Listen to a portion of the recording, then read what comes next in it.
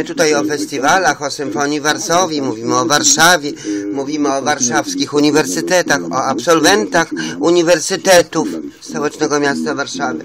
No, największą absolwentką, proszę Państwa, jest Hanna Gronkiewicz-Walc I, i, i inni, to już możecie Państwo sobie wyobrazić, jaki to jest poziom tych uniwersytetów i czemu w ogóle one służą, te uniwersytety. Żeby kogoś konia zrobić, żeby kogoś oszukać, żeby... Kto mądrzejszy, ten lepszy. 12 edycji Ajajaj, które odbyły, ajajaj. zebraliśmy już tyle, a tyle to y, utworów y, mistrza Pendereckiego i wracamy z jego twórczością w przyszłym roku na pewno. podwójnie, żeby nadrobić. Nie, wystarczy jak y, powrócimy pojedynczo, ale za to z, mm, no, z takim napięciem i ładunkiem emocjonalnym jak pasja świętego Łukasza. Ale to myślę nawet bardzo kosztowne e, wydarzenie, sprowadzenie orkiestry montrealskiej. Myślę, że nawet przecież lot to jest jakiś koszt. Tak, tym bardziej, że to ma być początek wielkiego tournée y, po Europie tego zespołu. A, to wtedy Mm, po prostu się. Wtedy będzie trochę taniej, bo, wtedy podzielimy się tymi kosztami, ale tak czy owak, e, gdyby to było jednorazowe e, wydarzenie wizyta e, Montreal Symphony Orchestra w e, Krakowie, no myślę, że budżet by tego nie udźwignął. Więc e, intensywnie pracujemy teraz nad rozgryzieniem finansowo-logistycznym tego pomysłu i zobaczymy, czy to się uda ziścić. No właśnie, to są te elementy, których, o których melomani nie zawsze myślą, wiedzą, po prostu chcą największych artystów grających najwspanialsze utwory, e, często współczesne utwory, nie wiedząc, że wszystko kosztuje, tak? I kosztuje sprowadzenie filharmoników, tak? Bo raz, że to Każdych. każdych, a, a im dalej są, tym więcej to kosztuje. Kosztuje przecież także granie. To nie jest tak, że nuty y, ściągamy z internetu, drukujemy i już. I im bliżej dnia, tym chcę powiedzieć, że drożej kosztują, no bez przesady, ale, ale muzyka współczesna kosztuje, szczególnie polska muzyka współczesna y, jest droga, więc y, często organizatorzy festiwali, mając do wyboru utwór starszy, niekoniecznie polski albo polski, a utwór współczesny polski, biorą ten drugi, bo po prostu to jest tańsze.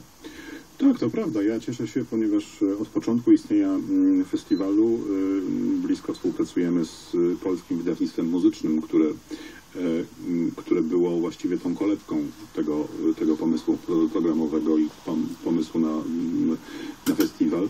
Y, Teraz PWM jest naszym partnerem honorowym i dzięki temu y, mamy całkiem m, miłą zniżkę na pożyczenia materiałów orkiestrowych.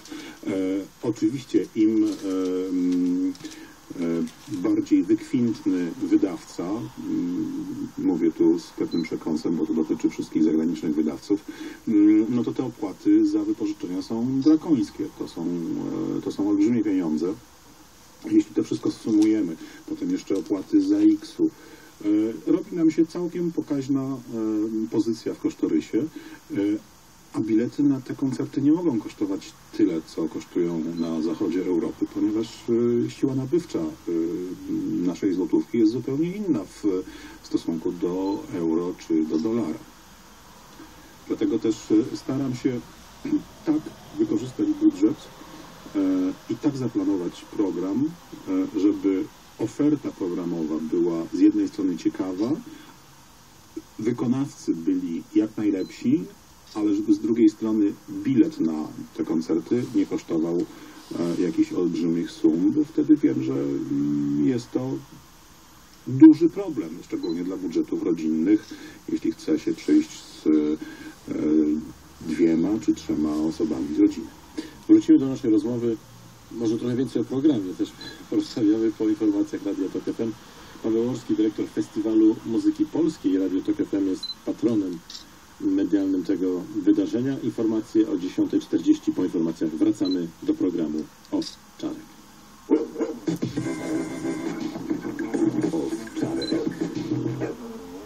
Reklama. Czyli dzisiaj już jest, proszę Państwa, czwartek. 13 dzisiaj. 13! O, o, o, o, o, o. 13. 40 Małgorzata Mostowiec zaprasza. Małgorzata Krzysztof Łapiński Mostowiec. nie chce zdradzić, czy Andrzej Duda zawetuje ustawę o Krajowej Radzie Sądownictwa, która m.in. wygasza kadencję wszystkich jej obecnych członków i zmienia zasady wyboru nowych. Wczoraj ustawę tę przyjął Sejm bez udziału opozycji, która zbojkotowała głosowanie, a Łopiński mówił dziś w poranku Radia Tok FM, że zanim ta ustawa trafi do prezydenta, Senat może wprowadzić do niej poprawki.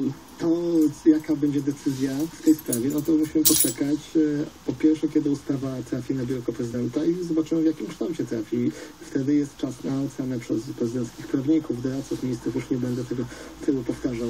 Ustawa o KRS-ie budzi sprzeciw nie tylko opozycji, środowisk prawniczych i organizacji pozarządowych. Krytykuje ją także m.in. Organizacja Bezpieczeństwa i Współpracy w Europie za to, że prowadzi do upolitycznienia sądów i naruszenia ich niezależności. Lotnisko w Wilnie zostanie zamknięte jutro na 35 dni z powodu remontu pasa startowego. Loty ze stolicy Litwy przekierowane zostaną do Kowna. Tamtejsze lotnisko będzie musiało tym samym obsłużyć dodatkowe ponad 3000 połączeń. Dziś byki w hiszpańskiej Pampelunie wzięły na rogi dwie osoby. Kilka innych zostało rannych, uciekając przed tymi zwierzętami wąskimi uliczkami miasteczka. Ta dzisiejsza siódma już tegoroczna gonitwa z bykami trwała 2 minuty 40 sekund. Ostatnia w ramach fiesty czci świętego Fermina odbędzie się jutro. Przypomnę tylko, że po każdej takiej gonitwie biorące w niej udział byki zabijane są na arenie. Teraz to wszystko w kolejnej informacji Radiu TOP FM o 11. Pogoda. Na Pomorzu, a także na Podkarpaciu, Lubelszczyźnie i na Mazowszu dziś silnie wieje. Na całym wybrzeżu mamy sztorm, a na Podlasiu mogą jeszcze pojawić się burze. Dlatego opady deszczu głównie we wschodniej części kraju, w zachodniej będzie więcej przejaśnień. W Białymstoku, Rzeszowie, Lublinie, Krakowie, Katowicach 18 stopni, w Trójmieście 19, w Szczecinie, Bydgoszczy, Poznaniu, Wrocławiu, Warszawie 20, a w Łodzi 21 stopni. Radio TOK FM. Pierwsze radio informacyjne.